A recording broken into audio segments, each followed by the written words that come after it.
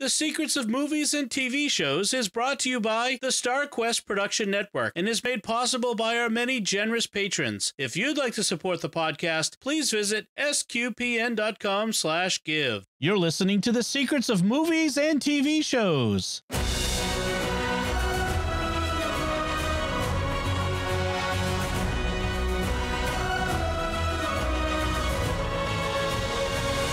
Hi, I'm Dom Bettinelli, and you're listening to the secrets of For All Mankind, where we will discuss the hidden layers and deeper meanings found in this streaming series from Apple TV Plus. And joining me today on the panel are Father Cory Sticha. Hey, Father Cory. Howdy, Dom. And Joanne Mercier. Hey, Joanne. Hi, Dom. Folks, be sure to like the Secrets of Movies and TV Shows on Facebook, where we're at facebook.com slash starquestmedia. Retweet us on Twitter, where we're at SQPN. You can find us on Instagram at StarQuest Network, and be sure to leave us comments and likes and all that sort of stuff wherever you find us. I want to tell you about another net, uh, StarQuest Network show that you're sure to enjoy called Jimmy Akin's Mysterious World. You can find it wherever fine podcasts are found or at sqpn.com slash mysterious. So I had a comment from a member of the StarQuest community recently saying, you know, you do a lot of it's called Secrets of Movies and TV Shows.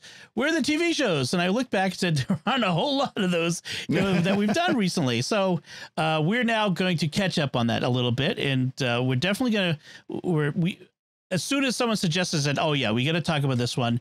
This is for all mankind. It's an Apple TV Plus series that's been on for a few years. It was one of the it wasn't one of the first ones that Apple TV Plus came out with, but it's one of the relatively early ones. Came up about the same time, I think, as Ted Lasso. Mm-hmm. I think. Um, in any case, uh, let me tell you a little bit about what this show is about, and then uh, just and up front, as always, this is a spoiler discussion. We will spoil everything that happens. Mm-hmm. So if you have not yet seen it and do not like to be spoiled, pause, Go watch all three seasons and then 30 episodes. Yes. like I did. Like Joanne did. That's right. So here we go. Here's what happens. In an alternate version of 1969, the Russians land on the moon before the US does. This ignites a space race much greater than the real one. We follow various figures, some real historious figures, historical figures, others made up for the show over the intervening decades. Ed Baldwin and his wife Karen. Ed's an astronaut, and then later a head of the astronaut office at NASA. Gordo and Tracy Stevens, a married astronaut couple, at least at the beginning. Uh, Ellen Wilson, an astronaut who become eventually becomes NASA administrator and then president of the United States. Uh, Margo Madison, who becomes NASA administrator eventually. Danielle Poole, uh, an African American female astronaut, uh, and more and more. In the series, our move to space is heavily sped up with uh, a moon base in the 1970s, NASA becoming this economic public private po- uh, powerhouse in the 1980s, uh, the race to Mars in the 90s. And in the meantime, the world develops a little differently with different presidents or some of the same. And the Soviet Union doesn't fall in 1989 or 93, actually. The the Berlin Wall doesn't fall in 1989. Mm-hmm. By the end of the third season, the U.S., Soviet Union, and a private company and North Korea have all landed on Mars. That's that one was a, a little curveball at the end of that. Uh, so, and that's where the series ends at the end of season three. Uh, season four is to come. So, that's the alternate history that is being presented by the series. Mm-hmm. Uh, but all of us, I think, we're all old enough to have some interesting memories of the real space program. Uh, mm-hmm. Joanne, did you once tell me that you you were a little girl watching the moon landing? Oh yes, yes I was. I was, I was ten years old watching that for nice. the first time. It, it was you was glued. It was like they're on the moon. This is great. Right. So of course, when I see this particular, at the first one, I was like, what? Wait a minute. That is not how I recall this. Yes, that is not right. Uh, how about you, Father Cory? What are your space memories? So I'm, I'm, younger. I don't remember the Apollo program. I, you know, only thing I know of the Apollo program is unfortunately from history.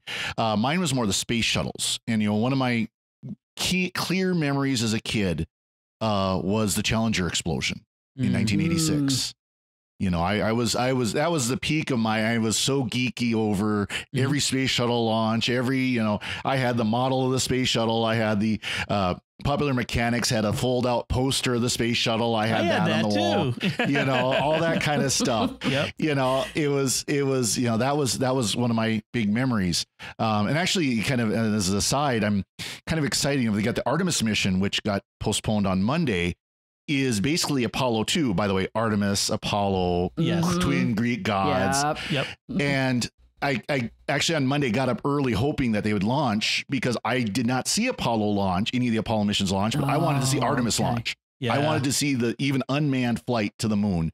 Um, Mhm. So it's actually kind of exciting to talk about For All Mankind now because 50 years after it happened in For All Mankind, it might actually happen in real life. Yep. Yeah, I, I was glued to the NASA channel on Monday myself. Hopefully, by the time everyone hears this, the they've rescheduled for the following Yes. Saturday, and it will have gone off okay. Yes. So, uh, so for me, um, I vaguely remember the Apollo Soyuz mission. That was I have a very dim memory of that. The the in the mid seventies. I do remember Skylab mission um, missions, um, but for me, the space shuttle, the first space shuttle launch with John Young and uh, Robert Crippen in 1980, I think it was. Huge, made a huge impact on me. It was very uh, uh, formative for me. Um, and then the Challenger disaster. I was a senior in high school, going into uh, Navy ROTC when I graduated because Mm. I was hoping to become an astronaut. And so the, when that happened, it again another huge uh, impact on me. Um, and then that interregnum, so to speak, that that uh, period of time with no space launches for several Mhm. years, um, and and now we kind of live in this golden age where you know SpaceX is launching a Falcon rocket every five or six days. I think Elon Musk was saying. Yep. Um, regular crew missions up and down, launching from American soil, multiple private companies. You mentioned the Artemis mission. So i- it's a great time if you're a fan of space exploration, manned space exploration. Uh, and so watching this series kind of like is, is a little bit of what could have been, you know, if Mhm. only. Um, and ironically, it's because the Soviets landed first. Yeah. Uh, Yeah, By two that weeks. bothers me. yeah. because I would hope that America would want to do this on its own.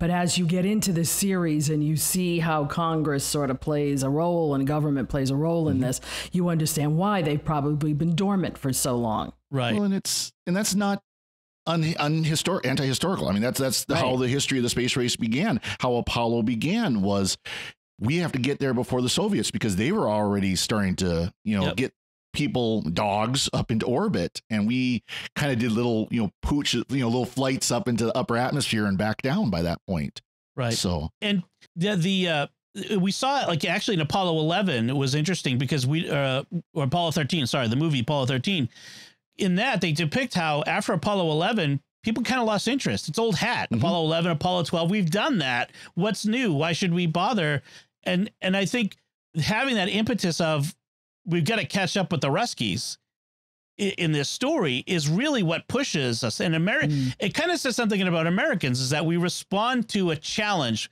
when we're the underdog, when we're behind. We need to Mhm. catch up. We can't let the other guy win. Uh, and I think that's kind of what this this story part of it is saying.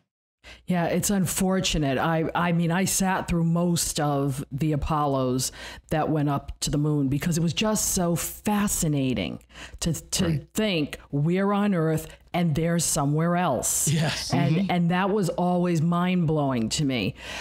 Yes, a lot of other people thought it was like, oh yeah, it's another thing, but it was the same thing with the space shuttles until until Challenger blew up and mm-hmm. that was mm-hmm. You know, now all of a sudden everybody's paying attention again. Right. No, we, these are the, what space has done for us is given us a lot of the technology that we know of today. Mm-hmm. Oh yeah. And and and that and, and the more exploration we do out of ourselves, the more we're going to have, you know, this technology boom and more and more knowledge of things now. Just look at the pictures that are Right, coming yeah. back. Yep. You know, that that's incredible. Well, and then this the, the this series like you know tells us things like um, when we get to the moon, they're they're mining helium three from the moon, which is an, uh, mm. part of an inex- inexhaustible uh, fuel source that's replacing fossil fuels on Earth with with the attendant uh, mm-hmm. societal mm-hmm. and economic problems that re- culminated what happens at the end of season three. Uh, but yeah. the uh, but it's one of the promises is, is like we, we could stop you know digging up our own planet start bringing stuff out from out there from the moon from mars from the asteroids and uh, instead of you know destroying our own environment here, we can get our raw materials from out there. And it's just one of those things that uh, you were either, you know, they, there's something about looking to the heavens that has always been mm-hmm. part of the human psyche. Um, and um, even the fact that we call it the heavens and we, we used to think of it as a place where God dwells. It's majestic. It's amazing. It's immense. Mm-hmm. Um, and I think it's important. So uh, Ronald D. Moore is the uh, creator, showrunner of of this. Uh, he has his his original background was in Star Trek. He worked on Star Trek: uh, The Next Generation and then Deep Space Nine. He went on to run the the reboot of Battlestar Galactica from the early 2000s mm-hmm. very successfully. And so he's he's got this series now, and he explained what the triggering for him for the writers. This didn't doesn't show up actually in the show itself, but he says that the what happened differently in the show's history than than in ours. He says, uh, Sergei Korolev was the father of the Soviet space program. In our reality, he died during an operation in Moscow in the mid 60s, and after that, their moon program never really recovered, never pulled together. So our point of divergence is that Korolev lives and he made their moon landing happen, which I thought was mm-hmm. kind of an mm-hmm. interesting, mm-hmm. you know, from a creator's standpoint. He, you know, this isn't important to the storytelling in the show itself, but it was important for him as a writer to to kind of note this and map it out. Um, what do you think of the the way that they've mapped out the history as it's changed, just in general? I'm amazed. It, yeah. Yeah. I'm absolutely amazed. And especially with all the deep fake. Oh yeah. When I see how they're taking footage of real historical figures and actually almost putting dialogue into their mouth. Mm-hmm. Right. It's like, wow, I'm never going to believe anything I see on the nightly news ever again. yeah. Well, they do some really yeah. cool things with uh, cutaways and uh, made up, uh, like uh, recreating new dialogue for them. So, like, there's a, there was a clip of Clinton talking, and they cut away from the video just enough, although his voice continued to be heard, where they mm-hmm. substituted in different words after that mm-hmm. point. It was mm-hmm. just, it's very clever. It, it's very and yeah. scary. Yes. right, but the history of it, how they've, I mean, for him to take that point, what if this guy lived? Yeah. What would happen?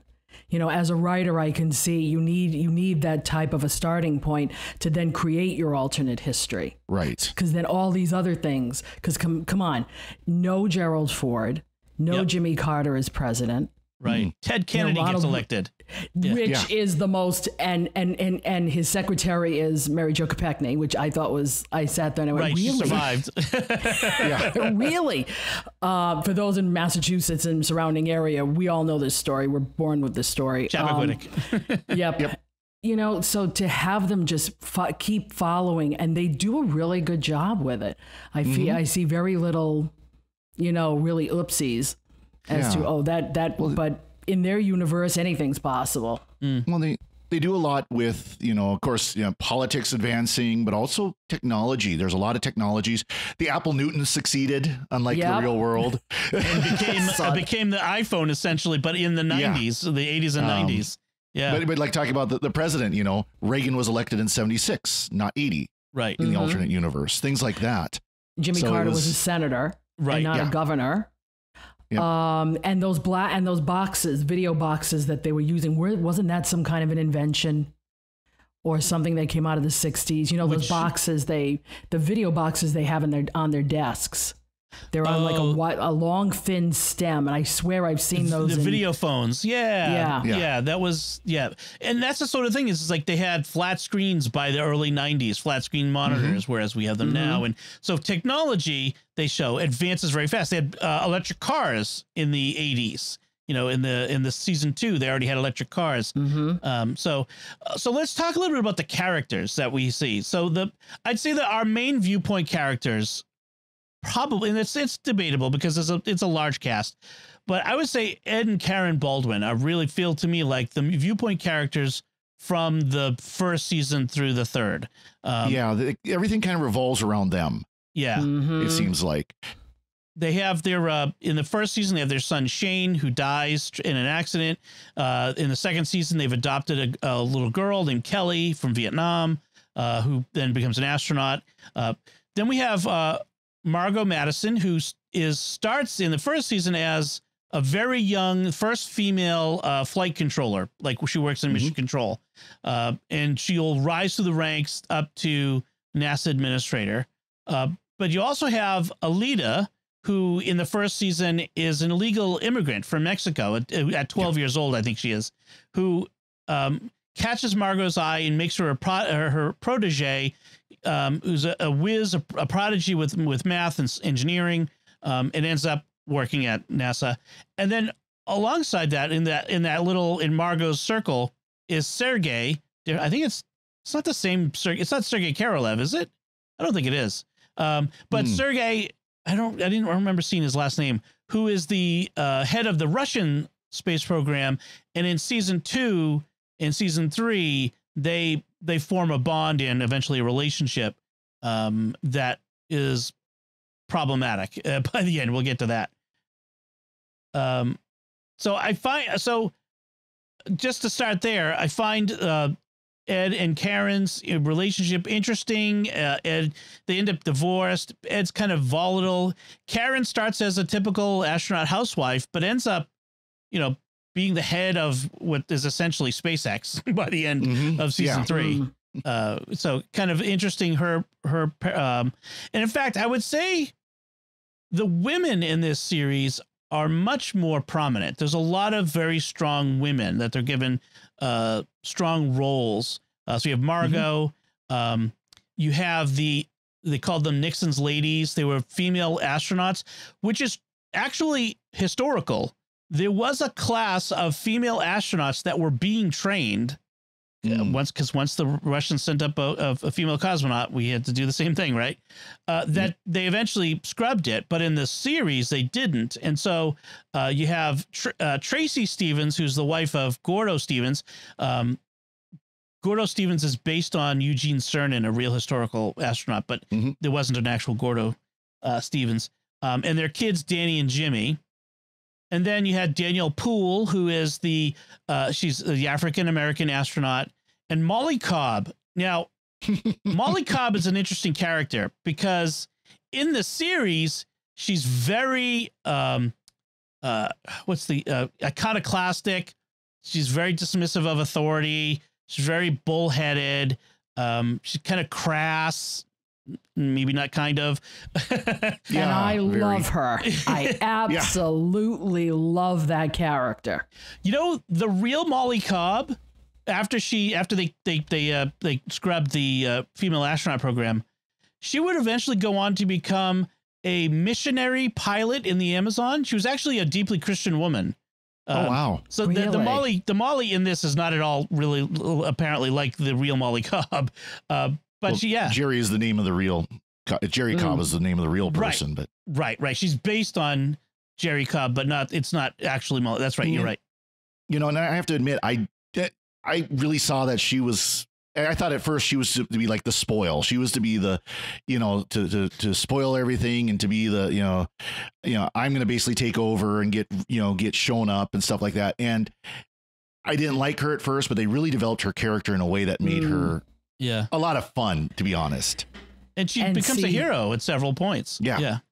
And see, I can relate to her because she's the woman who has to act like a man to get what's due to her abilities. Right. She has to. If she doesn't take on that persona, then she gets pushed around because all the you see you see Danielle get pushed aside. You see Ellen get a little pushed aside. Even Margo Mm-hmm. gets pushed aside. But Molly stays and because she is acting just like the guys. And they Right. don't like it. yeah. Mhm. And gee, that's too bad. yes. Yeah. Yes. I don't think she says, gee, that's too bad, but yeah, it's something along those lines. Well, that's what I say. Yeah, it's, gee, exactly. that's too bad. yeah. Yeah. Um, yeah. And then you mentioned Ellen Wilson. Uh, so they have this subplot re- with Ellen and her husband Larry. Larry. Thank you. hmm Ellen is, is a lesbian. Larry is gay. Back in the 60s, it was unacceptable, especially in NASA, so high profile. So they get married to kind of hide. These are this is a thing that apparently really happened. hmm You know, I uh, as a Catholic, obviously, I don't think that the uh, that you know uh, the homosexual lifestyle is is moral. I believe that it's disordered affections and that sort of thing. Um, but I also don't think we should discriminate against people merely because they have th- these these in- inclinations, just like any other inclination. Uh, so, um, I just felt like, especially in season three, they got really heavy handed with that storyline between her her You think? And the don't ask don't tell and the the uh the astronaut on mars um Mhm. I, I just i'm sorry but i just thought it, It go, a- went too far It was a little contrived. I thought it was a little contrived, but Yeah. I can. Un- but if they, but she became president, so I Mhm. think they may have written themselves on, into a corner on that one. they may have Because they spent a lot I- of time on it in season three I, I I wonder if they wrote themselves in a corner or if it's more likely they wanted to get into that corner Okay, maybe. yeah they, that they, they, purposely were because they wrote her to be ambitious where she was Mhm. ambitious politically you know after Yeah. she you know she flew in one of the missions she then went out for to you know run for public office and as a texas republican nonetheless Yeah, yeah really. you know that was a little on the nose there but yeah hmm well yeah it, it felt it felt a little bit like the showrunner's po- political point of view coming through a bit. Um oh you know the the those conservative texas republicans they might be secretly you know whatever. You know it's just mhm. if and then like i said they spent a lot of time pushing that storyline in season three the, the the just in general. And i just felt like can we get back to space? You know what i mean? It just it didn't feel like we were talking about the space stuff anymore or as much. So I, I I gotta I gotta give him a you know a knockdown on that and in fact that there were times where I really felt like they were kind of pushing like their their wishful thinking politics if only this could have happened Every show does that. uh, yes they do Mhm. they do Every every show does that. yeah But what I found interesting was Margo. Mhm. Margo is a scientist who's a jazz musician. yes Yeah. yeah And you know, there there is there's a fine line between those two disciplines. yes And I Mhm. thought it was very interesting that she needed that other side of her to be nurtured in order to do her job. And, you know, as a musician myself, I see a lot of times that people want to get rid of music and get rid of the arts. And to see her meld those two together Yeah. to be a whole person yes yeah was, uh, I'm, uh, I was standing up and cheering. yeah oh yeah i was uh, it's interesting like because it was clear that NASA was her life. She didn't have uh, Mhm. a spouse. She didn't have children. She lived at the. She literally lived at the office. Yeah, really. They showed that Mhm. several times. Um, so this be like she was almost obsessed with it in in in one sense. Not even in a sense. Like she told she was actually obsessed Hmm. with with with NASA and the program, and it was her thing. Uh, which is why it's so interesting how by the end of it she lets a, a relationship get in the way of that thing. Um, That Mm. relationship with Sergey, where she starts feeding him. At first, she starts feeding him information that is safety information. Like, look, the design of your rocket, there's this problem with it, and you know, if you don't fix it, someone's going to die. So here, here's what we learned about this. And that opened the door. And it's, it's kind of a cautionary tale a little bit because, you know, Mm. the Soviets, as soon as you open a door, they walk through it and they're not, they're not Mhm. letting you close it, you know, and that's kind of what happens by the end of it. They start Yep. using her affection for Sergei against her to make, make her continue to give them information. and by the way uh, sergey's last name was nikulov sergey, yes. sergey nikulov Okay. Okay. Um, good, good actor. Good, good. Uh, he always plays uh, Russians, uh, you know, or uh, various Slavic uh, peoples. Um, and he's a good character in this one. I really Well, like he's, that. he's polish so that's Yeah, not he's quite the Polish. same but yeah, he's Slavic. So yeah. There you Um, go. so let's no, talk. it- go ahead. No, I was, I was gonna say. I mean, she she was a very interesting character, especially the the whole issue of the, the spy. And then when when um when they start getting close, um, Leda gets close to figuring it out. She kind of tries to direct her another way, and don't you worry about this. And Mm. right. she you kind know, she realizes she's in trouble. Right. Yeah, it was I it was a really fascinating aspect of season 3 was cuz Aleida owes everything to Margo and so she's but Aleida being this analytical person she is eliminates every she's it's her design and she's so mad that the Russians took her design and I kind of I kind of like that. And Yep. and so she's she keeps digging when everyone else tells her, you know, stop, let it go, move on. It's not going to do any good. You're, you're um, imagining things. She just will not let it go until finally she eliminates all other possibilities. It must be Margo and confronts her. And, uh, you know, by the end of it, we're waiting for the this, the FBI is about to swoop in and arrest her. Like she's literally probably moments away from being arrested by the FBI when the the bomb explodes at NASA headquarters in at the season finale. Uh, just I, I know I'm jumping way ahead. Did you think she was dead? No, No, you No, didn't. I- I- you I didn't wasn't get- Sure. I didn't buy it. I thought she was. I I kind of thought she was. I was surprised by the post credit scene. Uh, so Yeah. And, Uh, by the way, did you notice that when they showed the so the building bombing, it was uh, the Oklahoma City yes, bombing? yes, it was They used very. footage from that. Yeah, it was. Ve- yeah, I was noticing it was very reminiscent of the same style of of the the the, the ripping the structure apart. You know, the the big hole in the middle. Well, there yeah. there was there was one scene where it was clearly there's uh, like a curved corner on the building at Yeah. Oklahoma City. Yeah. And they showed that scene. It was a, a very familiar scene if you you know if you remember the Oklahoma City bombing, I'm surprised Timothy. McVeigh and all that. I'm surprised with their all their CGI. They didn't create a new like they that they would reuse the Oklahoma City bombing. Uh, maybe there was they did it on purpose. They really I want to think they evoke did it, it. on purpose. I think they really did it on purpose. Uh, domestic terror. They don't want know. to evoke domestic terrorism. mm, hmm I, I, I, I've got a. I don't know that one.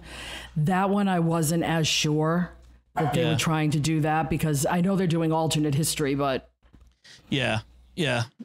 I I don't know. It's it's kind of interesting because the because the bombers were eh, almost similar um, motivations. You know, the, uh, distrust of the government and that sort of Mhm. thing. So, um, so let's talk about season one and Right. the uh, the uh, the events that happen in that season and where it all goes from there. Um, So, like I mentioned, the the Soviets land on the moon two weeks before the Americans were scheduled to land on the moon uh, in July 1969. Um, and like I said before, that affects the American psyche. You know, it really yeah. changes. Like coming, Americans do not like to come in second at anything. no, really. Second is first loser. You know, so Yeah, exactly. um and uh so that we have this this this this big at, at first it's a shock and then there's a big push we got to get out there we got to you know get them to the get to the moon now uh and with before uh you know we lose everything before we're you know we're we're totally behind the Russians because again in the, in the 1960s we were still afraid that the Russians might win and take over the world Mm-hmm. Hmm. Yeah, it was it was interesting though. They they played it up. The first scene, they they played it pretty coy that everybody's sitting there watching TV. You know, every bar and every house and everything. Mhm. Everybody's watching TV, and they play. Oh, like this is this is this is Apollo Eleven. The Apollo Eleven. Oh, wait, no, it isn't. It's the Russians. And oh, by the way, it's a female Russian. It's a female cosmonaut that landed. Right. Well, yeah, the first man on the moon was Alexei Leonov uh, Mhm. from there. But then, yeah, then there was an. Oh, uh, the, the female. Sorry, I'm mixing yeah. the two up. But still, yeah. the- yeah, I mixed the two up. Yeah, that's right. and well, also, Apollo 11 crashes on the moon at this one. In this, this Yeah. version, it Hmm. doesn't doesn't have a nice smooth landing, uh, so that's kind of wild. Um, then they have um, Nixon orders the building of a military moon base. Um, you know, so what do you think of this? This this becomes a big element in season one and two. This idea of the militarization of the moon, uh, because it becomes the new the new battleground of the Cold War, the really Cold Mm. War. So, so Yeah, Yeah. really. what did you think of that aspect of of the story? Guns in space. Come on. I, I, and if you shoot a gun in space, it's going to go round and round. The It'll go forever. Gonna, Yeah. right. So it's like how- they have to be. It- the whole thing annoyed me. that whole military aspect because I would hope that we would keep military aspect out of ex- exploration. You know, I, I, I mean, s- I I understand that yes, you have to have order and all that, but I, I, hate to say it. I think that was entirely plausible. If history had worked out this way, that's absolutely what would have happened. Yeah. And of course, on the moon, it's not going to go all the way around. There's going to be the gravity of the moon dragging the bullet yeah, down. Yeah. Yeah. It's still going to eventually, I mean, it won't lose power until it hits the surface, but the gravity is going to cause the trajectory. Now, it might take 100 miles for it to do that or something like that. If you shoot it, it straight up, it. it'll, it'll, it, that's escape velocity. I mean, it'll, it'll certainly lose. Yeah, it'll keep yeah, going. Yeah. You know, but it, so it's, I hate to say it, I think it's absolutely plausible. That's exactly what would have happened if if mm. both the U.S. and the Soviet Union had built lunar colonies. There absolutely would have been some sort of weapons involved, and for much the same reason why they show it. Right. Well, then thank God it didn't happen. Yes. Yes. Yeah. But they end up building Jamestown base, which is interesting. And uh, mm-hmm. uh, in in the meantime, we had the uh, the the female astronauts that that get trained. We have Deke Slayton, who is based on a real character, a real person. I'm mm-hmm. sorry, a real historical figure. Um, mm-hmm. And we have these other um, w- women who come in, which we mentioned already um, Molly, Tracy, and Ellen, and Danielle. And then we have um, they've discovered ice on the moon, and that's becomes that's a source of rocket fuel. And so that we have this race to get there, and that's why we end up having these these moon bases there. Um, and then we have um, Ed Gordo and Danielle are sent to the moon base to they call it Jamestown base. And they have through the first season they have this problem where the resupply missions Apollo like 23 explodes on the on the launch pad kills mm-hmm. everyone involved. Uh, then, including uh, Gene Kranz, by the way, who is yes. NASA legendary yep. NASA flight director. So he apparently dies in in this uh, version of events. Um, there's an excellent episode of American Catholic History talking about Gene Kranz and his he, who was a Catholic. Hmm. Uh, so it's interesting. Uh, then, um, so they're stuck up there. Then the the next uh, mission goes up, and they have a problem. And then so they send a third mission up, and that has to rescue the first one. And then this whole extended sequence of um, where Ellen and Deke are in this rescue mission. The a third guy gets caught in the bla- rocket blast and just incinerated. Was, Gone. Was he wearing yeah. a red shirt? Yeah, he, he yeah. probably was. um, so I mean, it's it's and then meanwhile, uh, Gordo on the in the in the base is starting to basically starting to lose his mind. He's mm-hmm. um, and I think it's interesting to to think about this the the pressures of living in in a moon base like that in a, in a they had a very small space to live in for months and months and months smaller than even a, than a submarine. Yeah. And and all they had was Bob Newhart tapes. Yes. One Bob one Newhart Bob, tape. One episode Hi, of Bob. Bob Newhart. hey Bob. Yeah. I love Hi, the fact that becomes a thing for them ever after. You know, mm. the, the the three of them. Um, well, and, and it was it was funny because there, there was one point it just went by real quick, but they asked, you know, can we get more video send up? So the resupply missions got there. It was the recruiting missions that kept having problems. Right, mm. right, right. Because there were there were unmanned rockets that were sent up and so they could get food and water and or food and everything else they needed. And they kept saying, "Can we get more you know newer shows? It's like oh no the, the studios don't want that because people might think they can record their own shows and watch them later. Yes. the moon. Come on. Uh, yeah well and that's yeah that's the other the thing is um uh i was gonna say the uh the the they didn't want to them to leave the moon the base unguarded. They couldn't leave it mm-hmm. there right. with the Soviets there as well, and that's why they wouldn't let them leave. Uh, so eventually, uh, Ed and Danielle realize that Gordo, the Gordo's losing his gourd, and he's, he's yeah. to, they need to get him out Basically. of there. Basically. And Danielle intentionally breaks her arm to make it mm-hmm. so that Gordo has to bring her back. Yep. Uh, what'd you think of that? Because it it kind of makes it oh the weak girl you know she remember see see girls can't really hack it in space. What do you think of her putting herself literally on the line like that? That's true friendship right there. Yeah. she knew he mm-hmm. had to get out of that situation and there was very you know what would be more plausible is the weak female needs to come home. Right. So the strong man has to bring her home Right. That and was that the would narrative. keep his integrity. yeah. And they kept saying we we don't want him to suffer for this. We you know if, if it comes out that he lost his mind up there, he'll never fly again. Right. And uh, you know I'll be honest, and of course, in, in not being an astronaut, but I'd be like, well, guess what? you Too probably bad. shouldn't. Yeah, you probably shouldn't. you probably then. shouldn't. Yeah, if you're Yeah. losing your mind being up here, you probably shouldn't be. Yeah. Yeah, but remember, we've seen a lot of different um, depictions of astronauts in different in different stories, and they were always the cool Air Force pilots who drive the mm-hmm. fast cars, who have all the girls, Yep. which is probably somewhat true of what actually happened. Oh, Yeah. yeah. So there's Oh, a yes. rep to maintain. Well, and there And was and they were, they, And in the they were- 70s, it's absolutely plausible Yeah. that that if and I'm going to I'm going to use the the gay couple if you can't tell anybody that you're gay okay you also can't tell anybody you have a mental problem Right. Mhm. Right. so it's the same thing it's the same deal Yeah.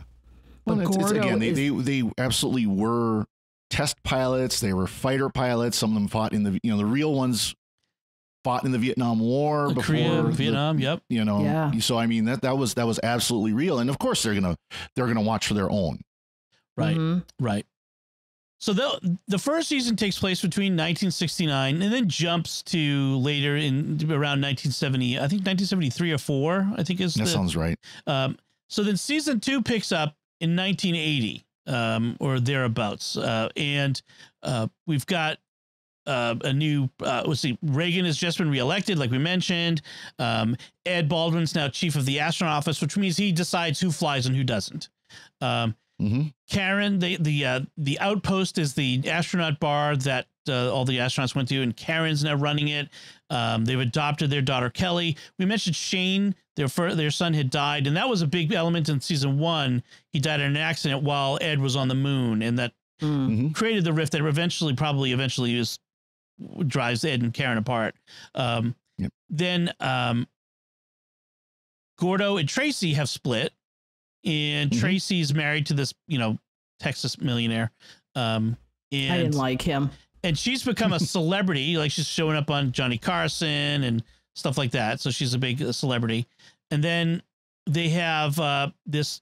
They're going to have this Skylab mission, uh, or no, the Apollo Soyuz mission. I think is what they're talking about. Yep. And and uh, there's going to be this new uh, nuclear powered space shuttle Pathfinder, which is the next generation. It's going to be, and this talk of uh, arming it. I I thought it was interesting that at mission control there was this room next door to the main mission control that was like th- the pentagon room that's where the military Mhm. stuff happened there was a there was an air force general in there and uh and so like nasa by this point is you know it's got a whole fleet of space shuttles it's sending it's the promise of, of space shuttles that we had when in the, in the real time which is Oh yeah. we have mission every two weeks and all that sort of stuff. And so that's where they were at with this. Um, and it's kind of fascinating to see how quick, again, how quickly things had progressed. Um, so this is the season where we have the uh, the the Russians attack the Jamestown base, um, killing a bunch of people, and in the middle of that, you have um, uh, let's see, I'm just looking at my notes here. So Gordo and Tracy they are divorced, but they end up at Jamestown base together, and they end up having to work together to save the base from a nuclear disaster. One of the Soviet those bullets you're talking about, Joanne, uh, it, Mhm. uh, hits the nuclear reactor and starts causing a meltdown, and they have um, they have to save it by making makeshift spacesuits out of duct tape. And, Yeah. and then they, of course, they die in the in the attempt and become heroes. But uh, they they save the base. Um, and Gordo's in the build up to that, he has to he he goes through this redemption arc. You know, from Mhm. lo- almost losing his mind on the moon, which affects him when he gets back and he starts drinking too much. He kind of becomes, I think he becomes an alcoholic and he has to come back from that and fight his demons and fight his addiction and really get and get back into shape so that he can go. And it's Ed who champions him the whole way. I thought that was a really interesting storyline to see that this man overcoming his demons uh, to become a hero. and Yeah. he wanted his wife back Yes. Mhm. which I thought was great Yes. You know, I mean, I liked the two of them because they were matched pair. Right. Okay, they they were matched. Even though he was unsure of himself, she was unsure of herself in some things. But I thought that they matched perfectly. Not like Ed and Karen. Ed and Karen are like he's ma- yeah he's like mr macho and she's she's the little wife until she learns how to not become the little wife and then becomes mrs macho which didn't make me happy I, Right.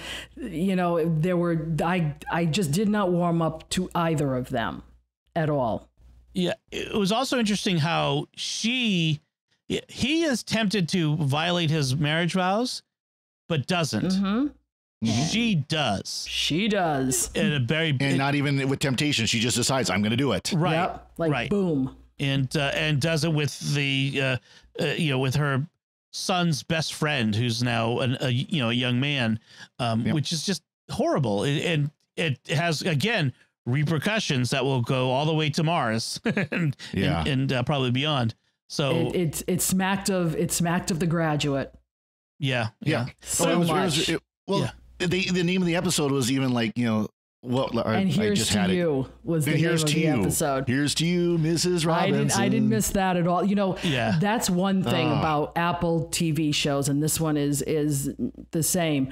They have the greatest soundtracks. yes Oh, yeah. Whoever is doing the music for the for this show and for and for like Schmigadoon and even Ted Hmm. Lasso, they're they've got a real good command of the library musical library, and they know exactly what to pick. Well, and, and a lot of the closing credit music was popular music from the time. Oh from yeah, that from that year that they're depicting yeah So, Yeah. like from the 90s, you'd had Nirvana was one of them. From the 70s, you had, you know, yeah, I'm trying to American think of some, Woman. You had American Woman, um, yeah. Yeah. you had Frank Sinatra at times, which I was like, "Whoa, who wants that?"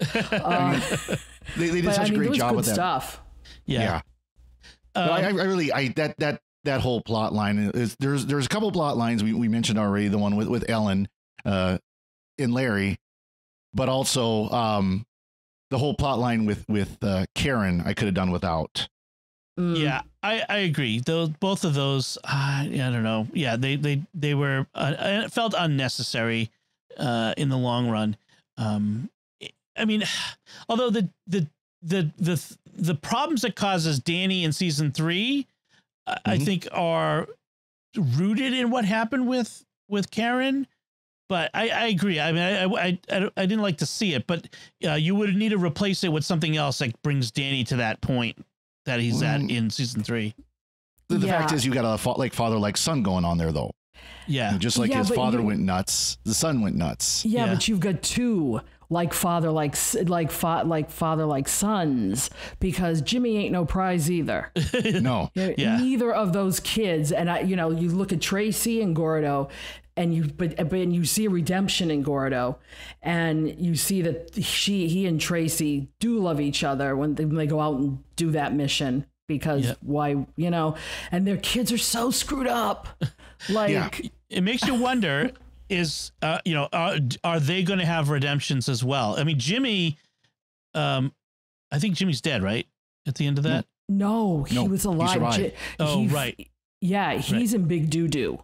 I hope he gets in Big Yeah. Doo Doo. He tried, he tried to stop them he, unsuccessfully, but maybe he'll get a redemption.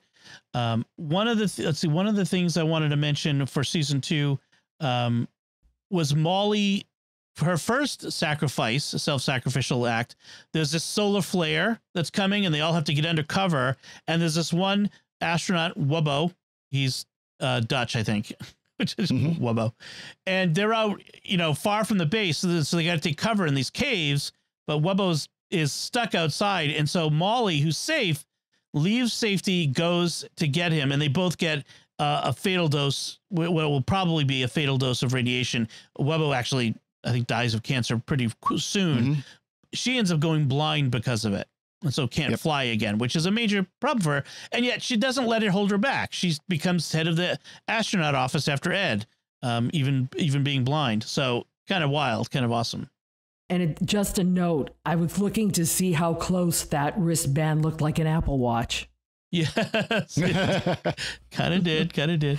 You know, Uh, you had to. I, I was really looking around for some of the Apple products, but maybe it was a little too early. Other than the Newton, Yeah, um, I've, when we get into the 2000s now, let's see what they do with Apple products. I, I- Yeah. I, did think it was. I did think it was kind of funny though. In the '80s, and we were talking the time like uh, Apple II and going into Macintosh, yep, that the NASA still had a PC. She had a green screen IBM PC on her desk instead of yeah. you know like a Mac or something like well, that. 'cause, But- yeah, that's you know she'd be a uh, you know uptight you know engineering type who wants a PC instead of a Mac. You know. Mm. yeah, sure. I did. No. I did like the video phone Newtons from season three. Like just forget since we're Mhm. bringing it up, and the apparently what they did was they they they took an iPhone 12 and built a Newton case around it with a camera that was from I think it was from a Treo, a Palm Treo had had Oh, the, that's funny. Uh, and that they that they kind of fitted into it. Oh so yeah, yeah. was- there was one that it clipped on the back of the the palm. yeah. It was Mm. Sony. It was Sony. Sony Handspring. I want to say had that. Oh, okay, okay. So it apparently was a practical effect. It was it did real a real call. They used the real app on that Mhm. iPhone uh, to do it. So it was kind of fun to to see that. Uh, just, you know, imagine what if. but Um, the cell phones were still bricks. yes, the cell Those phones huge themselves. shoe phone type things. Yeah. So then you have um, Ellen, who uh, after the she gets back from the, the the mission in season one, she becomes a deputy administrator, and then there's this. She's about to leave at NASA uh, because over the I think this talk about uh, defunding Mars uh, Mhm. mission, whatever. She's going to go on this trip with the NASA administrator Thomas Paine, Mm. but at the last minute changes her mind and then the plane gets shot down by the russians and it's korean airlines 007 uh Yeah. you guys remember that right? Yes, that was a real event that happens in the in the 80s where the russians shot down a korean airliner uh korean airlines 007 flight 007 um that there, there was actually a U.S. congressman on board that, if I remember correctly. Um, the Mhm. Russians claimed that they thought it was a spy plane that it had veered into Soviet space Right. um, and it created a big, a big, big incident, and it does in this show too. Uh, It was one of those serendipitous things where her father has a heart attack. So what do you do? right? Do you go on the mission or do you go for your family? And he says, you know, family first. right. Tells so her to stay. she go right. She tells her to stay, and that if she would have been on that plane, we would have lost the whole storyline. right. Yep. Right. Uh, yeah, she wouldn't have become president. So Right. they. Uh, so meanwhile, uh, we have Kelly, who is the daughter, uh, the adopted daughter of Ed and Karen. She's um, she's applying to Annapolis to, to join to enter the Navy. Um, and then we have a whole storyline of her um, researching her birth parents. I guess I don't think there's a whole lot there. I, I'm kind of I was kind of curious the point of it. I'm not sure. It I I've kind of I, I don't know. I, I kind of felt like it was another one of these um, diverge you know d- d- diversions that didn't really tangent that didn't really add anything. I I kind of wish they would have done a little bit more with it because there are a lot of Vietnamese children who have Mhm. American, um, you know, have come to America or have American parentage, Yep. and if they would have done a little bit more with that, Mhm. I think it could have been. I think it could have been very interesting. They kind of did it and then dropped it. yeah. It was Yeah. like this is an, this is our nod to ancestry.com. That's it. We're done. right. So Yeah. Yeah, I mean, there's a very large Vietnamese population in. I think the largest in the U.S. is in the Houston area. Um, so it's you know it's a very important community there. They could have done a lot more with it, and they just it kind of felt like they kind of waved at the idea but didn't do anything with it. unless they're going to come back to it in season four. I suppose that's possible. Uh, so season three starts in 1992. Uh, Karen and Ed are divorced. Um, Karen is she's gone into business with uh, uh, Tracy's uh, widower husband, uh, Sam Cleveland. Uh, what a name! And they've started a space hotel business. So yes, in 1992 there was a space hotel, um, and Danny Stevens is getting married. He's an off, he's a naval officer now, uh, and going to be I think he's an astronaut at the, that's the point. Um, he's Hmm. getting married, and uh, so they all go up to the to the space hotel where there's an accident. Uh, I think it was a Russian Russia blew up something and it damaged the hotel. I think it was, and um, Yeah. Danny has to save the day. But in the meantime, uh, Ed gets injured and uh, Sam Cleveland gets killed and some of the stuff. And you had this scene of the high G's because it's a rotating artificial gravity, you know, like 2001 Space Mhm. Odyssey sort of thing. Um, but it starts Mhm. spinning out of control. And so the G's are going higher and higher. I thought, I thought that was really interesting and kind of well done that, oh, that whole bit. Yeah. Uh, yeah, the yeah, the what happened was the Russians blew up one of their satellites as a training for a, a ground to ground to uh, space rocket, right. and it caused the debris floated into the the path of the the hotel, and it broke one of the thrusters, so that was stuck on, and that's why it was going faster and faster, um, you know, and showing the effects of that. Yeah. So uh, that is a disaster for Polaris and you know a public relations disaster, and they end up having to sell the the company to this guy named Dev Ayesa, the founder of Helios Aerospace, who wants to use it for their own private Mars mission, and clearly, Dev Ayesa is Elon Musk, and Helios Aerospace is SpaceX. Well, I well, had he's, a he's little from problem. Africa. Yeah. Well, I had a little problem because he was my Mr. Solomon from the blacklist. And I'm like, wait a minute. So now what's going to happen? Every time he's around, something weird happens. Well, it did. kind of did. yeah. kind of did, but not as graphic. Yeah. so he's he's very um he's very full of himself he likes to talk about how it's we're a very you know flat company it's we make collaborative decisions and it's clear he's running things you know it's Mhm. uh, it's all it's all a, a bit it's all his ego um Well, they, they show that one time where Karen presents one option. He he wants he absolutely has to go for this other. Op- oh, it's it's rescuing the the Russians, Right. You know Yeah. that that as they're going to Mars, and of course Karen's like, you have you know law of the sea, you have to go help them. And he puts the vote out there, and of course he gets up there, and we're gonna make it, and we're gonna be in first, and you know all this stuff, and who's in favor? And they raise a hand. There you go. That's all you need to know. yeah And that was it. But she never got a chance on, to speak in contrast. You know nothing. But Right. Argue later on, she nothing. uses it to her advantage because she Yes. throws out the, the because they're about ready to fu- march with him into the deep, and he's not going to be able to compensate them properly. And she says, "So, what's going to happen with all your, you know, how are you going to compensate them?" And they're all going, "Huh? Yeah. What do you mean? And your stocks, you your retirement that you're getting out of this. Yeah. lemmings? Can you Yeah. say lemmings?" right um yeah the the demagogue gets out demagogued Mhm. So, so we have this Mars mission. So NASA's getting their Mars mission together, and Ed and Danielle are competing to be commander of the mission, and Molly is dithering between them. She doesn't know which one to pick. Ed's clearly got the experience, but Danielle is not a hothead like Ed is. So you know, and so she's going back and forth.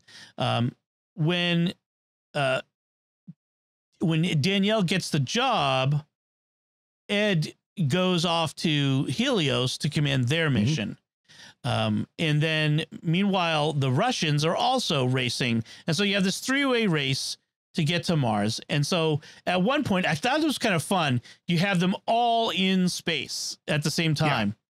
And uh, this is, oh, speaking of Apple technology, this is when Kelly pulls out the iPod. You remember that?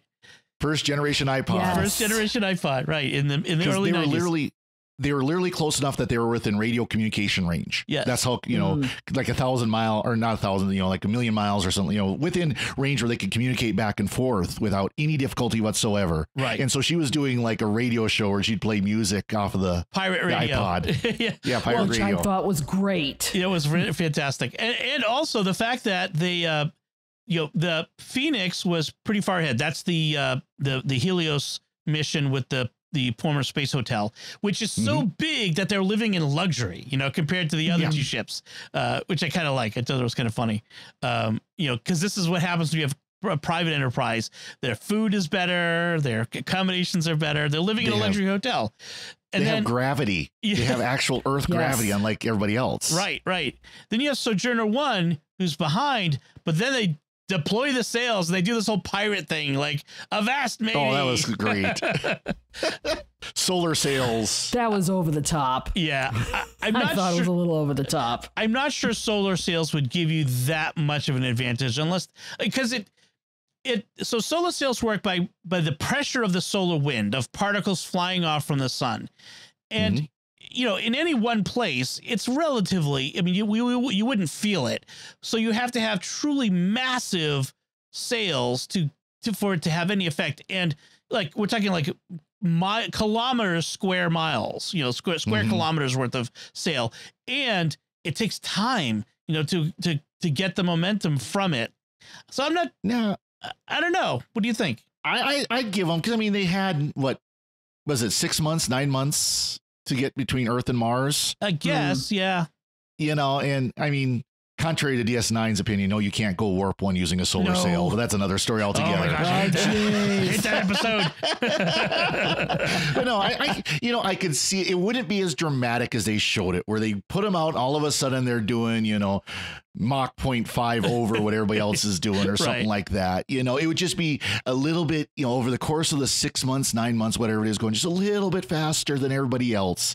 You know, Right. unless they burn their rockets. You know, That's true. That's true. And then, of course, it's the Soviet ship, which is built, you know, by the Soviet standards, that has a problem that has to be rescued. That then uh, damages Sojourner. Uh, but meanwhile, so the the Russian and American crews have to combine on Sojourner, while uh, yeah, um, Phoenix continues. Uh, but in the end, it's uh, the Sojourner that gets to Mars first. And so you have this great scene of Sojourner landing, and then they have to decide, well, who gets to go outside first?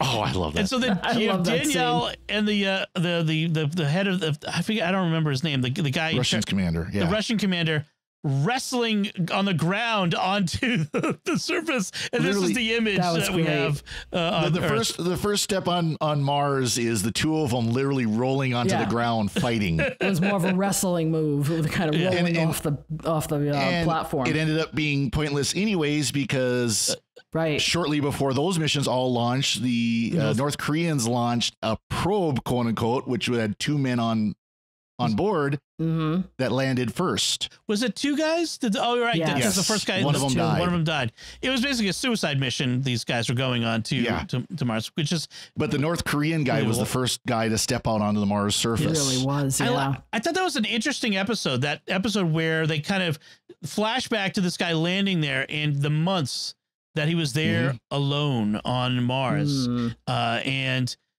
and then having to try to keep this communication between the Russian, the uh, the American, and the Korean about what's going on and.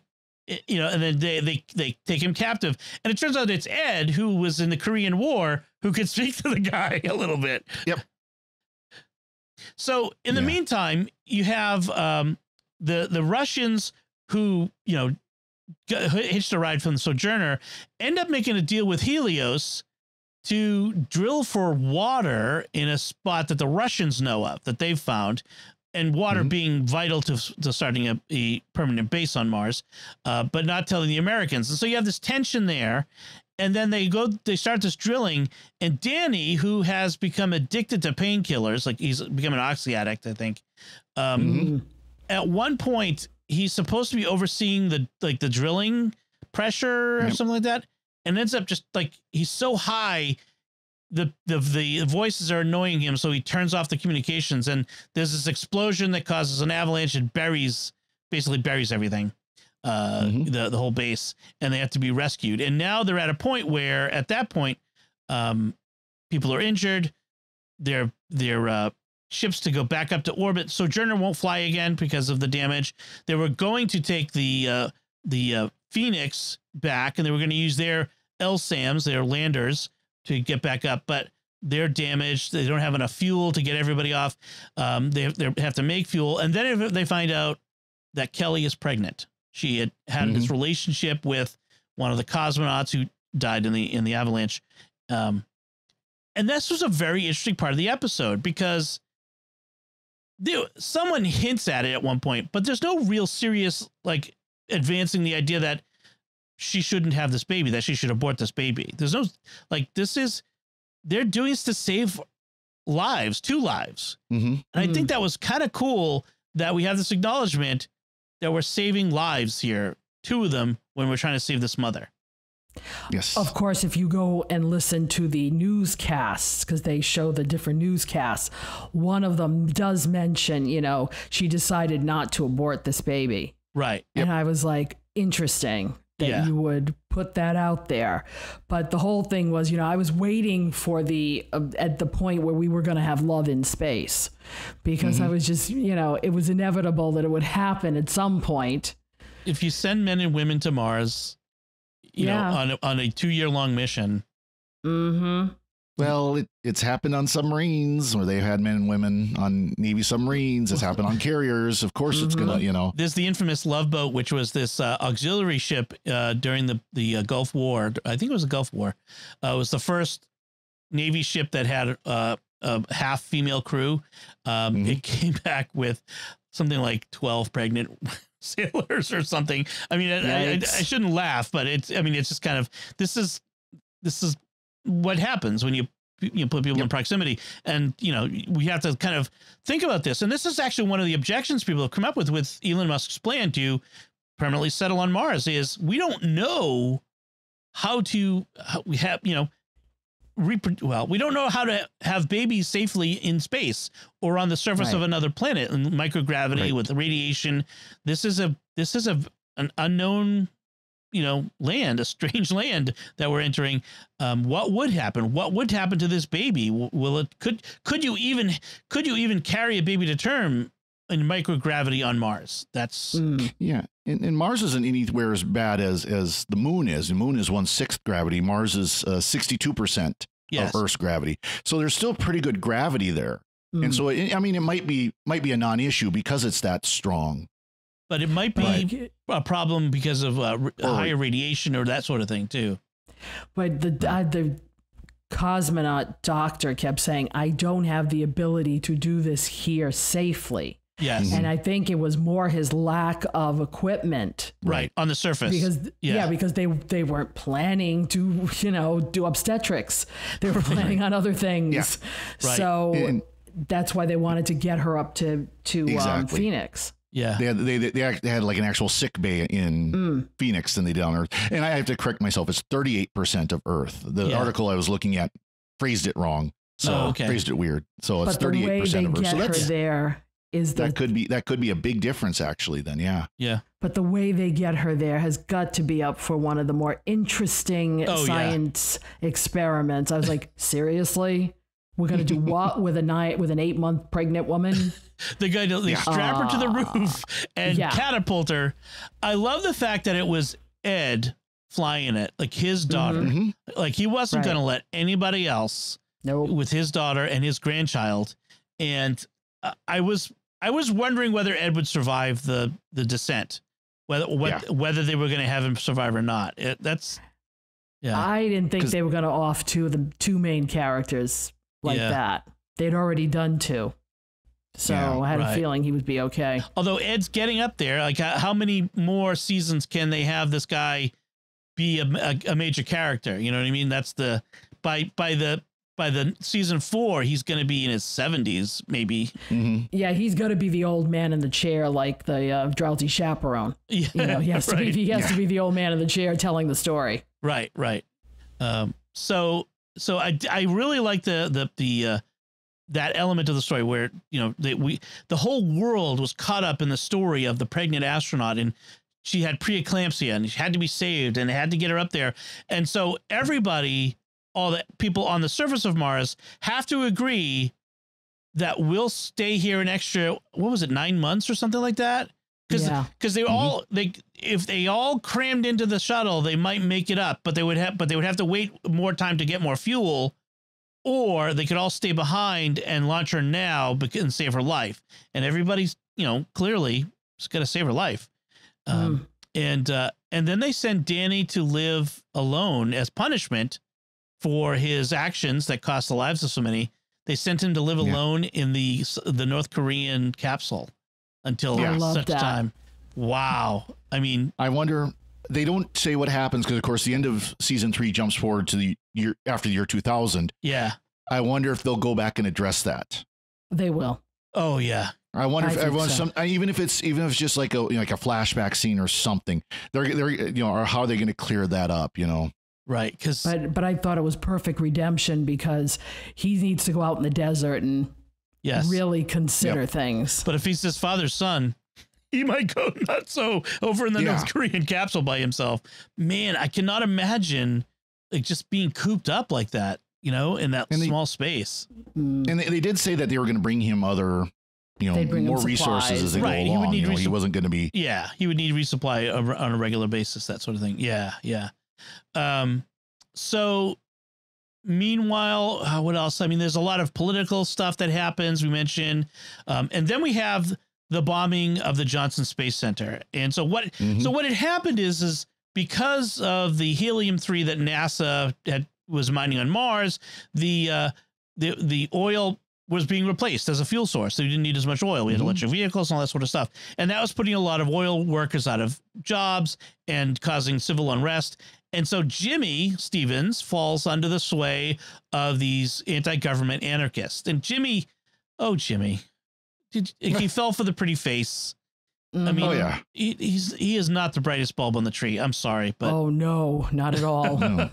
and Well, and this this group was like the you know, they're lying to you. Your parents didn't actually die the way they say they did. And like they Conspiracy stole the, theories. they stole the statues of the two of them. Like there's Yeah. the you know his parents. The statue of the two of them are put up in front of NASA headquarters or uh, Johnson Space Center, and they stole it. You know, like that would be possible. Even like you could steal it. You know, there wouldn't be Yeah, I security mean, guards, cameras. Yeah, well, If and it was I- on like you know marble Yeah. covering and every, marble stand and everything. But it, it's just he. uh they, they were convinced that it was all conspiracy and all this kind the of stuff and you know fake and that- news thing a Yep. little bit. Yeah, It, a little it- bit just a if- little bit it was the stupidest plot line yet. yeah, yeah Uh, seriously, because all right, there could have been to say that his parents didn't actually do that. That I mean, I know they're trying to make the correlation to a lot of people who don't believe that we walked on the moon, right. hmm but uh, no. If you look at the story, his parents died trying to save something. So you're going to say that was all staged. At Yeah. least with the moon, it was like, no, this was, you know, they were on some soundstage somewhere in, in California doing this. No, no it, it, it didn't, it, to me, it didn't ring right. Yeah. So I thought it was a very stupid plot line to Well, get him. There are still those who actually say man did not Oh. walk on the moon. So Oh, no, no, to this I- day, I agree with that, but I think I'm talking about just this plot line to get him into that. Yeah, Yeah. it was Yeah. just I, I wasn't buying it. it would be hard to, to to for anyone to seriously believe like like what would be the motivation for faking like that they to faking their death like that why would NASA fake their death the, to make them heroes I don't know but yeah Jimmy just just even from season one Jimmy just never seemed like the brightest bulb uh, uh, No. and maybe they're doing that in in contrast to his his brother Danny who was supposedly the the shining star, the the, the you know the the overachiever who was also a flawed character. So we'll Yep. we'll see if he gets a redemption in season season four. That uh, it might be. I don't know if that's possible or not. Um, but in any case, they they blow up the building, uh, and we get this dramatic scene. I think it is it um, Aleida who goes to Margo's office Yes. and like Yeah. she opens the door and just like we had seen last time we saw Margo, she had sat down at the piano to play music, and then we Mhm. see this hole where the Yep. piano was. Like there's no way she that she could survive that uh that that tear out. well, and and and Aleida was actually going to confront Margo when the explosion happened about the Russian collusion. yes. Mm. She was actually going to confront her at that moment, and then the bomb went off, and that's when then after that's when she walked into the office. But wasn't somebody talking, and if I, I'm trying to remember correctly, wasn't somebody talking to Margo about trying to get her out of there? There was one. There was the Yes. Russian. Was one of the Russians said, "Let me get you out of here," Right. Yeah. because they knew something was going to happen. The apparent well, Well, cer- that's the the implications that the Russians might have even been behind the bombing. Well, no, the, the Mm, Russians, no. um, the Russians went and it was the, the head of like the Russian, the, the female head of the Russian Yeah. Mhm. missions or whatever. She was like, okay, we're going to get you out of here because the FBI is after you. right. We're going to get you somewhere else. Right. Um, but they used the bombing as a cover to get her like to to, the they think she's dead. I, I don't know if, yeah, I, I don't Mm. know if they used that as a cover, if they just, the bombing happened and we had this convenient opportunity to just smuggle her out of here before I- anybody knew. I think they smuggled her before the bombing. I think it was a coincidence because remember, the guy with the bomb is the ex astronaut. Now, Mm-hmm. unless he was in league with the Russians, Or which we don't know. yeah, could have had a cutout like the Russians, you know, could have could have been, you know, had uh, someone undercover pushing Mm. it, you know, that sort of thing. Yeah. I, I mean, I, I I don't think they they made it clear that there was Russian involvement in the actual bomb. Let's just put no. it that right, way. right. I guess I might be speculating because it would be an interesting dramatic point if the Russians were actually behind the bombing of the NASA Space Center. That would cause a huge problem, uh, you know, Mhm. diplomatically Well, uh, in season four. when and the problem the problem with the timing of it is that they set off the bomb when they did because they got caught. Right. Karen and saw, see- had Yeah, heard from Jimmy about it. Jimmy Winter and said, "There's this bomb in the back of this van. We need to evacuate." right. And Karen went and alerted, and they saw her doing that, and they set off the you know, Right. via remote telephone. Okay. I mean, we'll we'll see. I, I mean, it's all speculation on my part, I guess. We'll, we'll see what happens in the, Yeah. the fourth season because, oh, by the way, spoiler, Margo ends up in the Soviet Union Right. in Moscow in Yes. year 2000. So Karen is dead. She dies not knowing that her daughter has been saved. By the way, that was Mhm. that Mhm. tragic uh, timing. Um, Yep. So she's she's died. Kelly survived. Her baby is, is healthy. Um, then uh, Molly is a hero because even is bl- because she's blind, she knew the halls of the space center very you know without you know blindly without sight Right. and could navigate them. And so she was guiding people out of the smoke filled Mhm. corridors to safety. And uh, and later on, we're told we don't see it, but we're told that she died in there. And so they ended up renaming the Johnson Space Center the Molly Cobb Space Center, which is kind of kind of cool. And uh, Sergei, who the they uh, the Russians gave up in exchange for Margo, basically they he's living in America, suburban America, while we see Margo in the Soviet Union in 2003. And that's Mhm. presumably where the next season will start up is somewhere around 2003 or so. But there's a couple of interesting subplots here. Uh-huh. Um, one of them is Kelly's baby. Because Right. the Russians are very interested because the father is the Russian cosmonaut.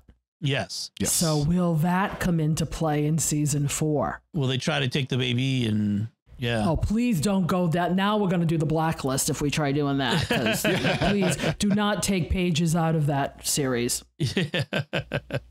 um, yeah. I mean, what do you what do you think we're going to see in season four and you know the 2000s? Uh, uh, we will we.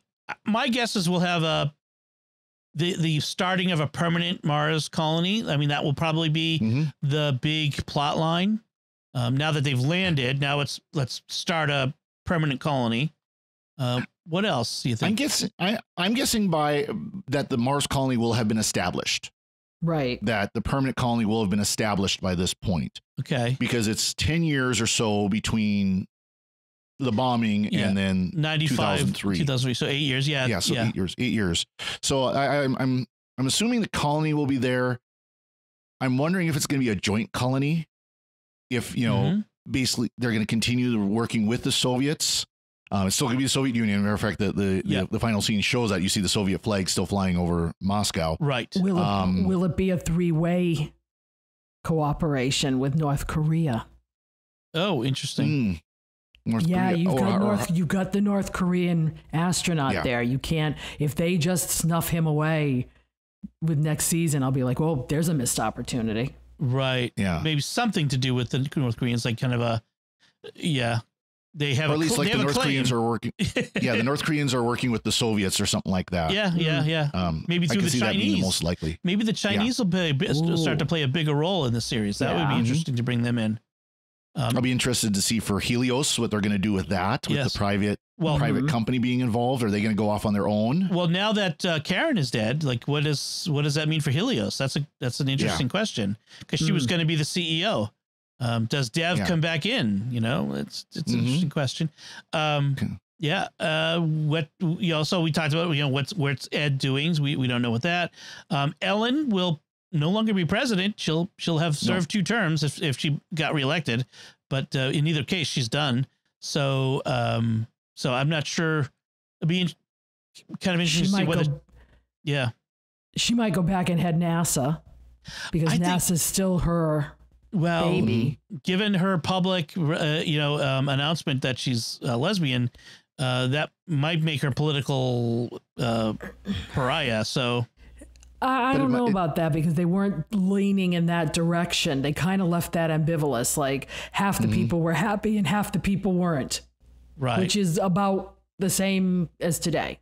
yeah, By, by the way, did you notice that they, they used the Westboro Baptist Church as the opposing side? But still, yeah, yeah. here's here's a hint. Just because we oppose it doesn't mean we, we you know we want to see them burn Yeah, or anything like or, that. or that we hate, know, or that anything like Right. that. or Right? we hate. yeah, Right. that's not that's not the case. Um, But yeah, it'll be curious to see it, you know, and where they might go beyond season four into a season five. Like, what could they? Where could we? Where could we see them going in the future? So, like, do you think they'll take it to the present day, like twenty twenty five? Are we gonna eventually see that? I'm curious. you know, one one thing I'm thinking too is uh, with this next season is it's not that far from Mars, relatively speaking. Of course, we're talking about you know Yeah. solar system size di- distances here, Mm, but relatively speaking, it's not that far from Mars to the Astro- asteroid belt. Asteroid belt. That's right. That's right. Yeah. right. You know, an asteroid belt that's long been you know a theory a theory that lots of resources out there free for the taking, Yep. Yep. Yep. and we'll end up at the expanse. Yeah, I was gonna say Oh, Earth, these Mars, kids- and the Belters. Shades of Armageddon. yeah, yeah, in Armageddon, we'll have Armageddon. We'll get send- Bruce Willis send out there Bruce Willis up there to mine some comments. Yes. All right, I think that's uh, that signals the uh, our the uh, that we've come to the close of our But- uh, conclu- discussion. But one one more yeah, one more small thing. I got a kick of in the '90s. They had they had the StarTAC phones. They had the Motorola StarTAC phones. true, true, yeah. The old clamshell phones. I got a kick out of that. So, Joanne, you had mentioned your uh, list of characters you like, the characters you disliked, and the characters you know what to do with. Um, Yes. you wanna we share? Kind of. Sure, I'll do it quickly. Um, I you already know that I liked Molly and Tracy and Gordo. I do like Danielle. She Yeah, is a very cerebral, you know, thoughtful woman. yeah, And she she's a strong leader, and that's what they needed on Mars was Right. somebody like Molly was right. Molly Yeah. Mm-hmm. was the one who wanted her, and Ma- Margo was the one who wanted Ed. that's right, that's right. Right. And that's how Molly gets fired because Margo Margo says, wanted you know, yeah, wanted wanted Margo wanted um, Ed, and Molly Right. wanted Danielle. that's what so I mean. Yeah, yeah. Uh, I couldn't stand, like I said, the two the Ed, Cat, Ed and Karen Baldwin and Danny and Jimmy Stevens. Uh, just Yeah. it, they just maybe because I binge watched, they annoyed me. It was just getting worse. Yep. Um, and I don't know how to feel about Margo.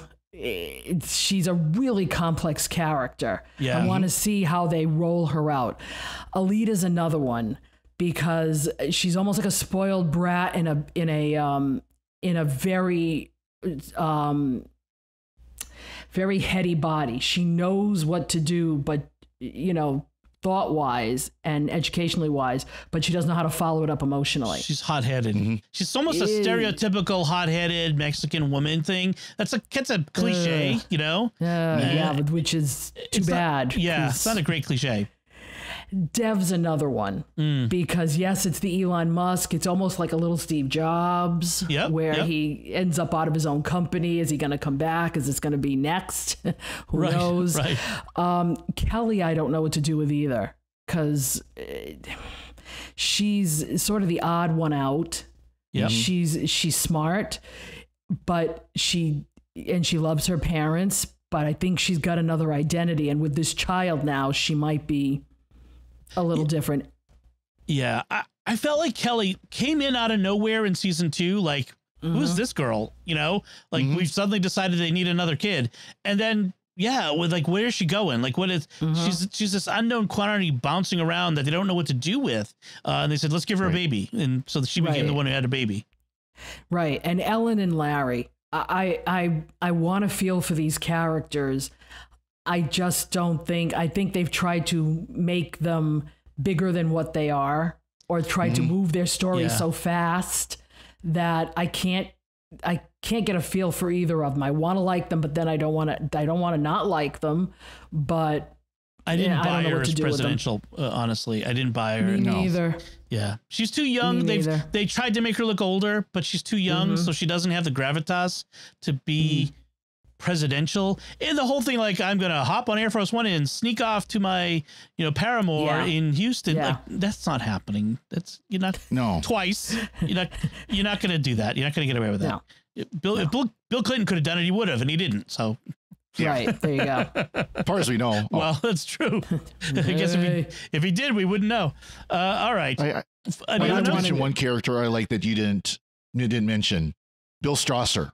Oh big bill guy. Oh, yes. That him! I became- like. I did like him. yeah I, I he was a character. like he was a good one. I, I liked him a Mhm. lot. You know, he kind of he's one of those he kind of grew.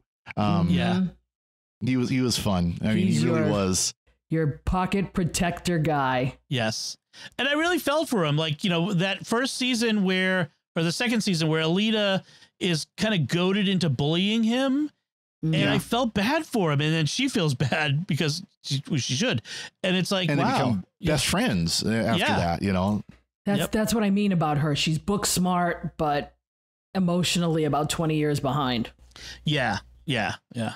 Um, so apparently in season four, there is, they, they've already cast the, um, the new NASA administrator. It's going to be Daniel Stern is going to be playing him. that's gonna be awesome. yeah. That'll be, That's gonna be good. I like him as an actor. yeah. He was the guy in Home Alone, the tall one. Yes, that ought to be interesting.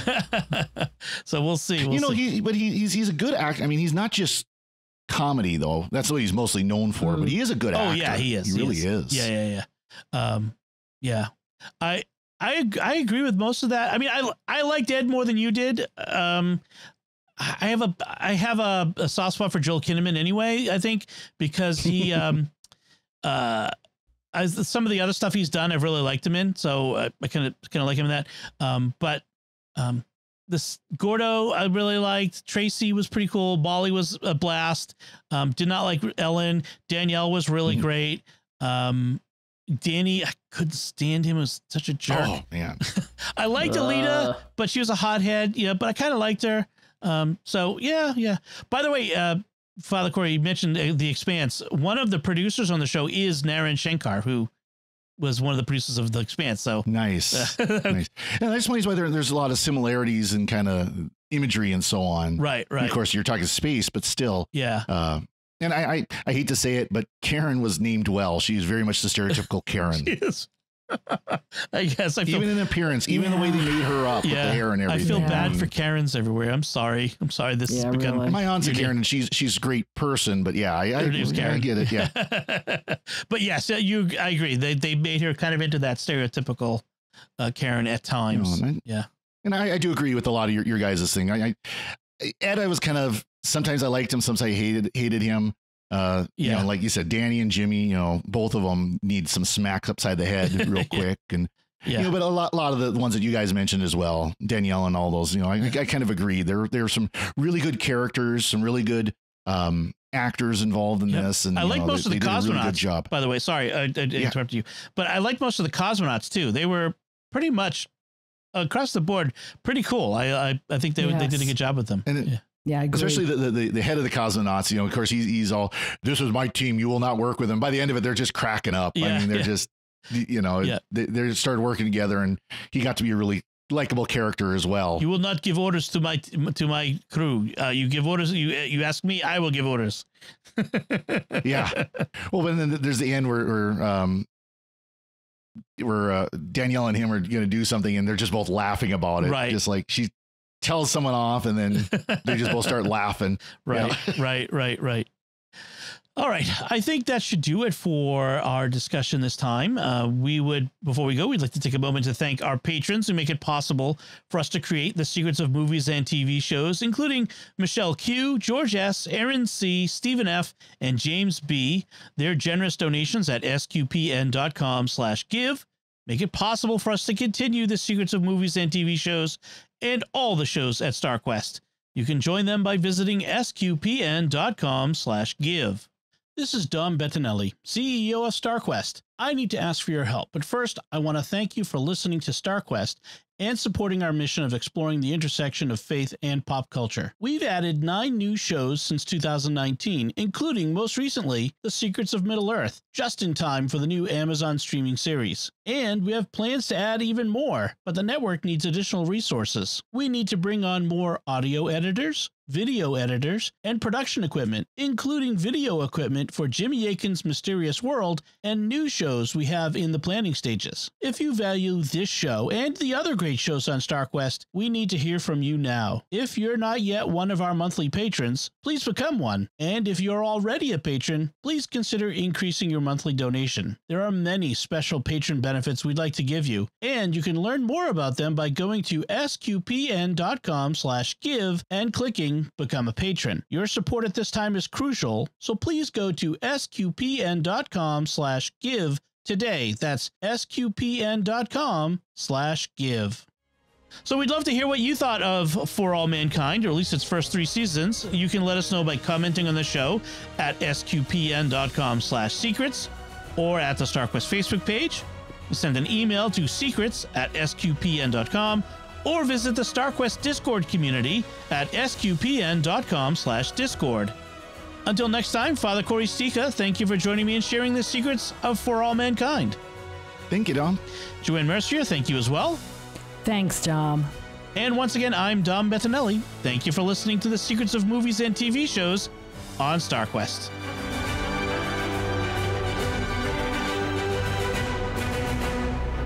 StarQuest wants to hear from you. We're conducting a survey of our audience. That's you to help us in our planning for the future. Please take a moment and visit sqpn.com/survey. We'll be selecting two participants to receive an Amazon gift card as an expression of our thanks. So visit sqpn.com/survey today.